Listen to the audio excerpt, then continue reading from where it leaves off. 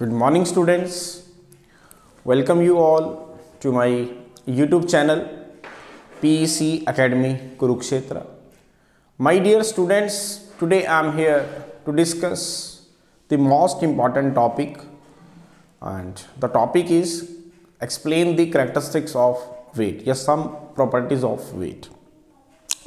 बड़ा ही important topic है and this topic I have taken from class ninth chapter tenth gravitation बहुत बार इस तरह के जो क्वेश्चंस हैं कि एक्सप्लेन द डिफरेंस या give the difference between the mass and weight तो उसमें पाँच या छः आपको वेट और मासेस में डिफरेंसेस देने होते हैं।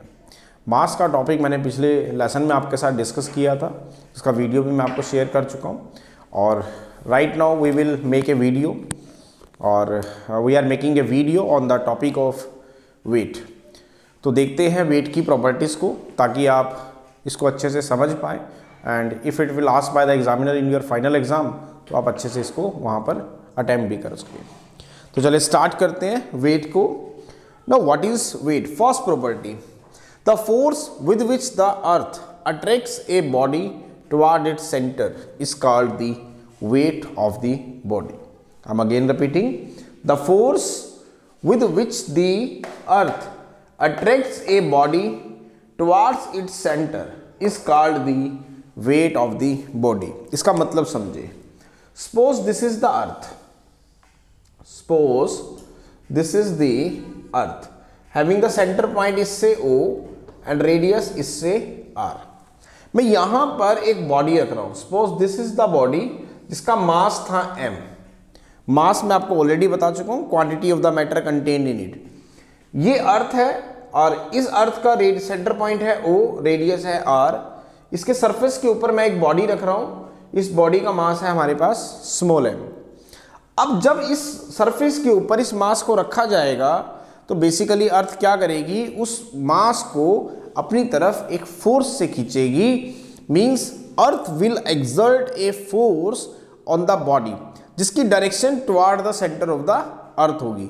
और that force is equal to the weight of the body दोबारा सुने मैं यहाँ पर एक अर्थ ले रहा हूँ, जिसका सेंटर पॉइंट है ओ रेडियस है आर और अर्थ की सरफेस के ऊपर एक बॉडी रखी जाती है, उस बॉडी का मास है एम ऑब्जेक्ट रख देते हैं। अब जब अर्थ की सरफेस के ऊपर उस बॉडी को रखा जाएगा तो जो अर्थ है, वो उस बॉडी को अपनी तरफ़ एक फोर्स से खींचेगी। It will exert a earth will exert a force on the object whose direction is toward the centre of the earth जिसकी डायरेक्शन अर्थ के सेंटर की तरफ़ होगी. And that force which will exert by the earth on the object of mass M whose direction is toward the centre of the earth is equal to its weight means F is equal to W is equal to mg. तो weight is nothing, but it is the gravitational pull exerted by the earth on the object which is placed on the surface of the earth and its direction is toward the center. Second, weight of a body changes from place to place as it depends on the value of g.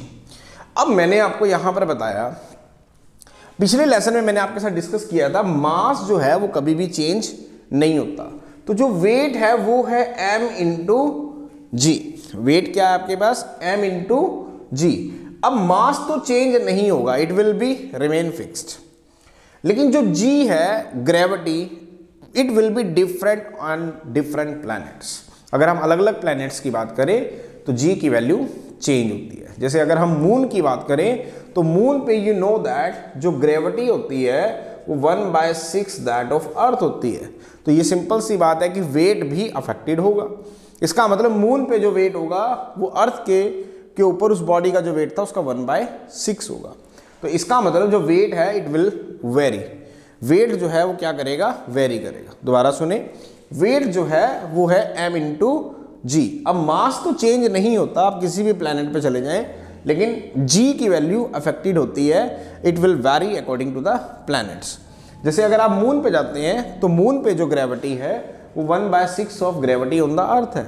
इसका मतलब अगर आप moon पे जाएँगे तो gravity affected होगी तो wait भी आपका अफेक्टेड होगा। इसका मतलब अगर एक ऑब्जेक्ट का वेट अर्थ के ऊपर, मान लेते हैं डब्ल्यू है तो मून के ऊपर उसका वेट वन बाय सिक्स हो जाएगा, जो उसका अर्थ पे था।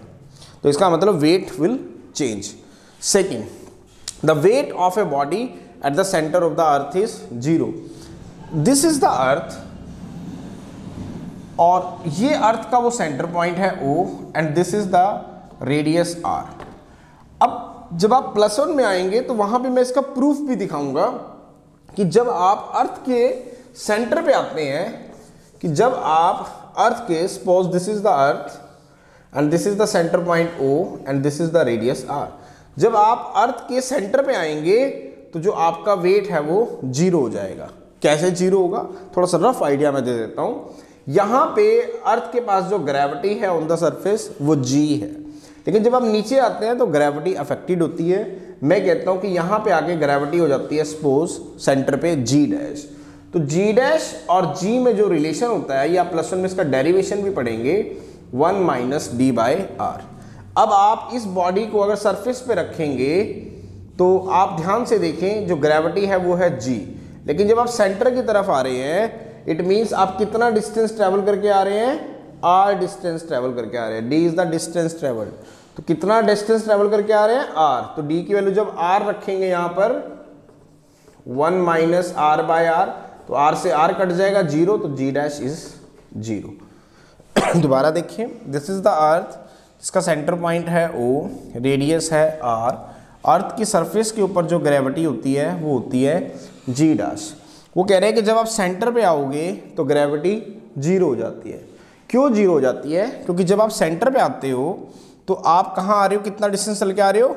डी डिस्टेंस ट्रेवल करके आ रहे हो। और डी की वैल्यू किसके बराबर है? आर के बराबर। तो जी डैश होता है G one minus D by R तो डी की वैल्यू आर है तो आर से आर कटेगा तो G dash is comes out to be one minus one zero zero into G zero तो जी डैश इज़ ज़ीरो इसका मतलब at the centre of the earth gravity is zero फिर next weight is a vector quantity जैसे मैंने आपको बताया था कि जो मास होता है, वो एक स्केलर क्वांटिटी होता है। सिमिलर मैनर से जो वेट होता है, वो एक वेक्टर क्वांटिटी होता है।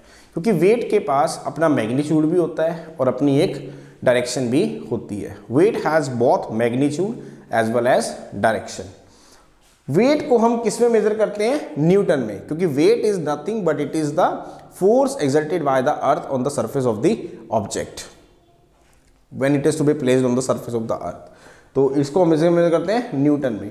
इसको किससे मेजर किया जाता है? वेइंग मशीन से. मार्केट में हमने देखा होगा, जब आप वेइंग मशीन पे खड़े होते हो तो it will give some reading that will become equal to its own weight equal to its your weight तो this is the discussions about the important characteristics of weight और बड़ा ही इंपॉर्टेंट है और पेपर में इस तरह के जो क्वेश्चन हैं differences between mass and weight three marks के पूछ लिए जाते हैं। तो आपको प्रॉब्लम ना आए that's why I am here making the video on this topic characteristics of weight और as early as possible I will I will upload this video on my YouTube channel P E C academy Kurukshetra तो आप वहाँ से इसको download करके इस topic को देख सकते हैं सो so दैट कि अगर फाइनल में ये पूछ लिया जाए तो आप इसको अच्छे से अटैम्प कर पाएँ।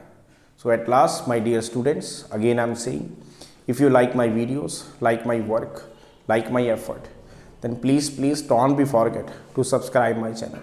My channel is pc academy, kurukshetra.